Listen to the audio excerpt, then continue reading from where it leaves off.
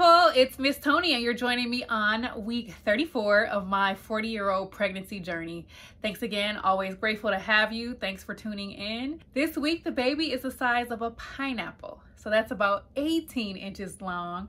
And my babies are usually born around 20 inches. So that's scary. I only got two more inches, and the baby is going to be like my version of full term.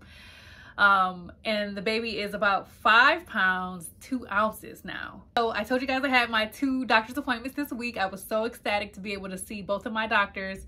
Um, sadly, this was my last appointment with my perinatologist. As you guys know, when you're considered high risk, then your doctor will often recommend that you also have care from a maternal fetal medicine doctor, or better known as a perinatologist. And they specialize in high risk pregnancies. So y'all know I'm considered AMA, advanced maternal age for pregnancy. Once you hit 35, you get pushed in that category and being AMA and being black um, and now being 40, I keep hearing all these ands and ands and ands. I'm like, okay, I get it. High risk. I get it.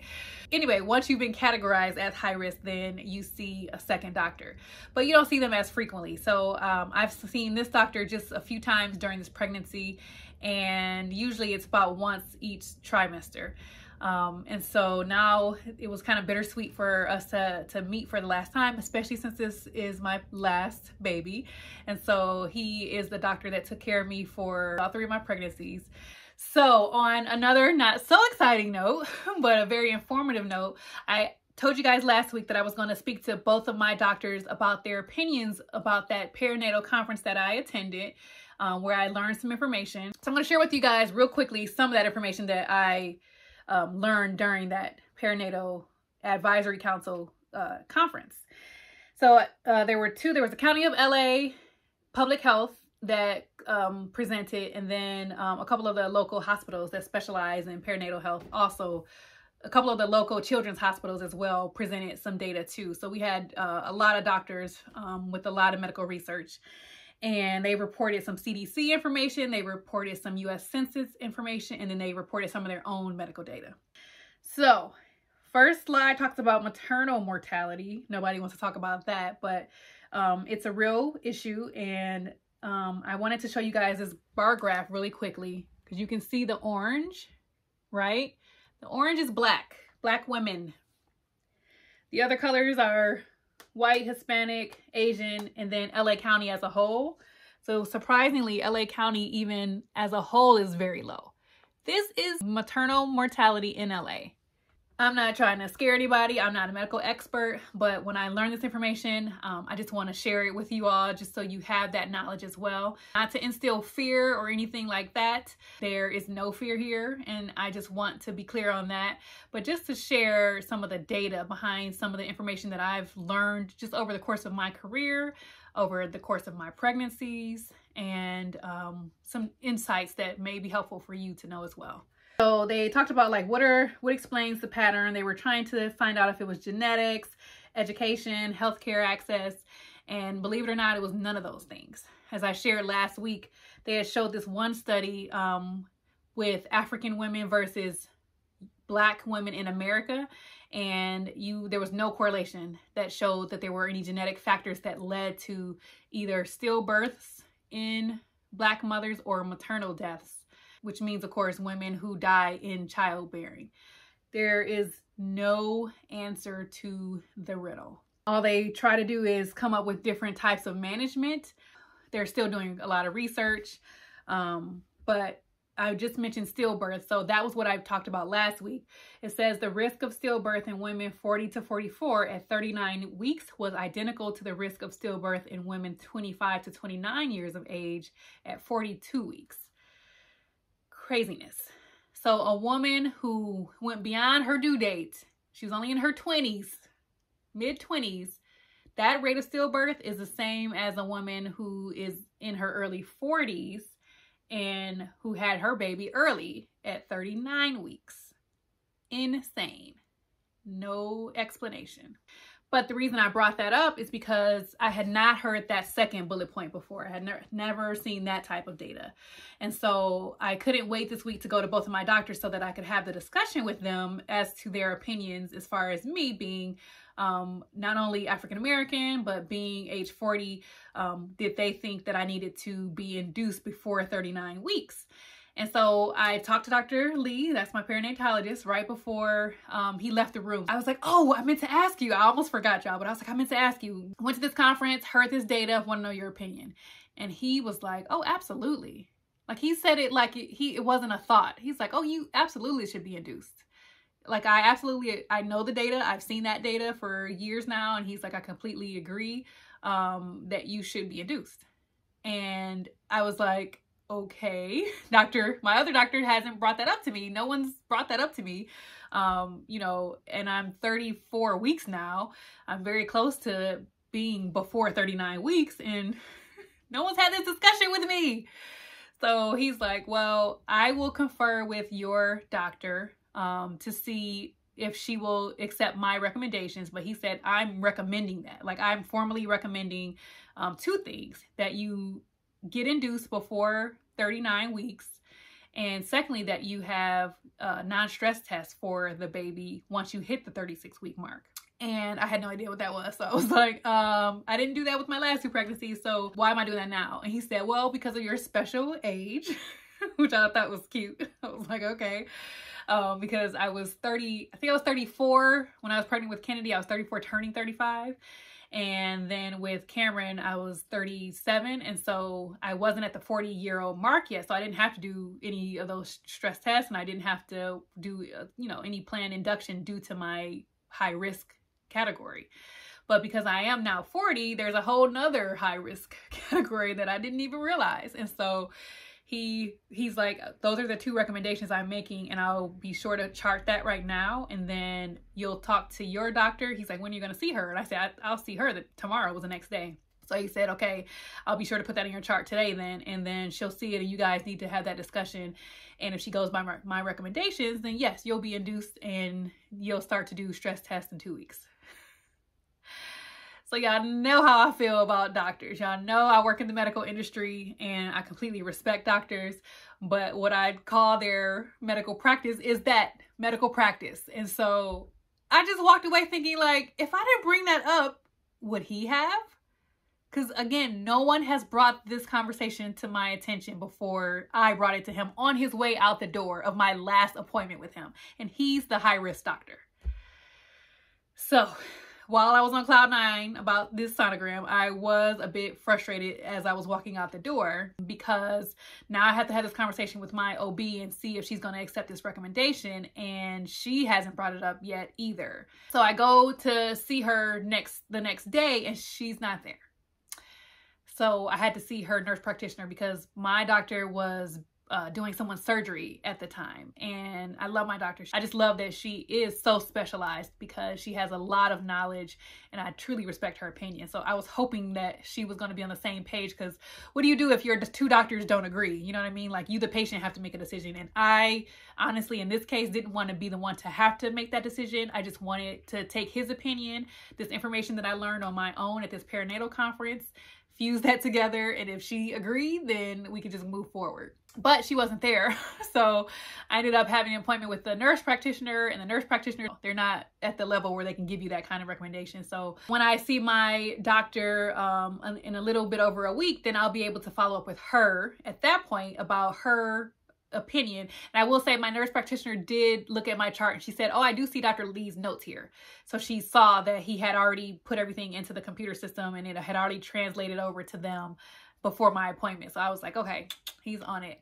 And so she said, when your doctor returns, then we'll be able to um, have that follow-up conversation. And if your doctor is in agreement with him, then yes, we will plan to, to induce you before the 39 week mark.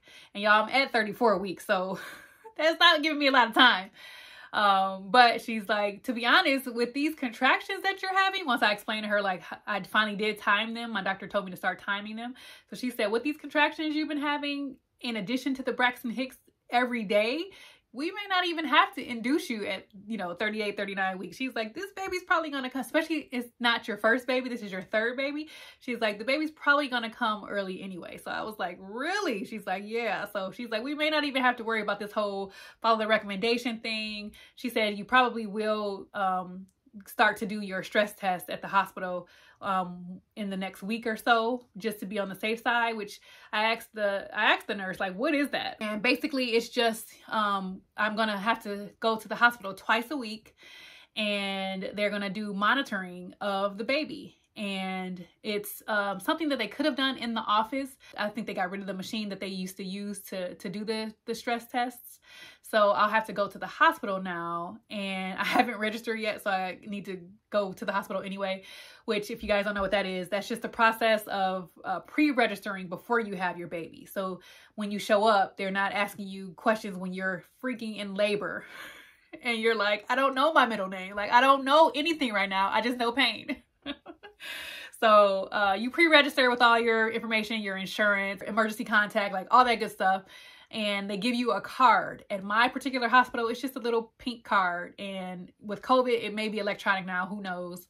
Um, but it's just something that you, instead of you walking in and having to have a whole conversation, you just present the card and they have your information in the system. And you just bypass all that um, in the admitting department and you go right into either emergency. So if you deliver on a weekend, you're for my hospital, um, the the doors are closed. The regular hospital is closed on the weekends, and so if you deliver during the uh, night where it's after hours or if it's the weekend then you have to go through the emergency entrance which is on the back side of my hospital um, if you come during the regular weekday, during the regular hours of operation, then you can just come through the regular front door and they'll valet your car for you. So just interesting um, to you learn all that like during the end and you're like, oh, I got to register. Okay, let me do that. Um, the good thing is when you have had a history with the hospital, then they don't need as much information the next time around. They just want to know if your insurance changed and um, just basic information like that. But as far as your um, health, records and all that they have it all um, because my doctor is a part of that hospital system so it's all correlated it's all in the same system so it's very convenient and so i'm to have to register next week when i go there for the first time for my first stress test and thankfully i'm actually going on maternity leave y'all so we've talked about that in these videos too um, in california you get to go on your leave four weeks prior to delivery and it's called California Pregnancy Disability. And so I have applied for my company short-term disability and I've applied for the California pregnancy disability. I just did all that this week. And so everything's pending. Well, that's it for week 34 of my 40 year old pregnancy journey. I appreciate you joining me. If you haven't subscribed, then please do so. I hope this information is helpful and insightful for you. I hope you can walk away learning something new every time. Um, but also, I hope that you just enjoy being on this journey with me. I appreciate all the support. Um, I, I, appreciate all the comments and um, you guys are following me on IG as well. So I appreciate the inboxes, the DMs, and um, just all the support that I've been getting for sharing this journey with you guys. I started it as just a personal diary thing. I just wanted to be able to document my final pregnancy and uh, didn't know it was going to come to this. So it's exciting to be able to share it with you. I have a lot of uh, family members who watch regularly because they can't see me. Um, we're, again, we're coming out of COVID, thank the Lord, but um, I haven't seen my family in over a year. So this has been a way for my family to connect with me. Um, they haven't seen me pregnant. My mom has not seen me pregnant, y'all. And she was with me with both the other pregnancies. And so that's been tough not having my mom not having my sister who was my best friend regina j. Um, she's been supportive through both of my pregnancies as well but um, this time she hasn't been able to actually be with me. She and my sister-in-law dee hosted my uh, first baby shower in my hometown in detroit um, they also hosted my gender reveal with the second baby in Detroit. And so this time I'm not having anything there because I'm here and the traveling restrictions are just being lifted now, which is great. But it's too late for me to travel. If you guys don't know, you can't travel this late in your pregnancy. And so um, there's too high of a chance once you hit, I think it's the 34, 34. Oh, the different airlines have different requirements. Um, so some of them will say like the third trimester. And then others will say like 34 weeks, 35 weeks, or 36 weeks um, is the last point that you can actually fly on the airline. So they're very restrictive. Of course, if you wanted to, you could probably, if you could hide your belly, then you could try. But um, they just don't want to take that risk of you having a baby on a plane and they have to ground the plane. like who wants that? Anyway, I can't fly. It's too late for me to, to hop on a plane um, to see my family now that the travel restrictions are up. But my family, some of them are going to come out and just a few of them are going to come out and see us uh, once the baby is born um, within the next few weeks or so. And so that'll be fun. And then I've got some friends who are going to wait a couple months till the baby's a little bit older. And then um, in the fall, they're going to come as well. So I'm thinking about doing a sip and see. If you guys haven't heard what those are, it's it's a old country down south thing um, where they used to have people just come sip whatever you want to sip. So lemonade or some strong drink and come see the newborn baby. So for this being baby number three, there's all, you know, there's all these questions about whether or not you should have another um, baby shower because that's greedy, especially if you can afford to get your own stuff, then you should get your own stuff. So that's just my personal opinion, but everyone's different. Um, so that's what I was thinking of having a sip and see as opposed to an actual shower, just so people can actually come and meet the baby, still get to see the baby when it's maybe maybe a couple months old and um, get to still celebrate with us in person. So we'll see if we're able to do something like that with our uh, small groups of our family um, this fall. So I can't let you guys leave without seeing my 34 week belly bump. I gotta show y'all, this is funny. So look how high the baby is. This is super high because the bottom of my pelvis is way down here. But the baby is way up here, just in this little area bunched up right here. So that's probably why I've been out of breath so much lately because the baby is so high up by my lungs and my ribs and just poking out right there. Been like that for the past day or two.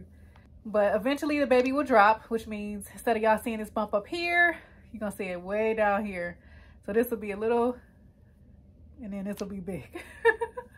that's when you know baby is ready and on their way out because they have dropped so far down in your pelvic area. So uh, I'm not there yet, but I'm getting there, y'all. Thanks again for joining me, and I can't wait to see you next week.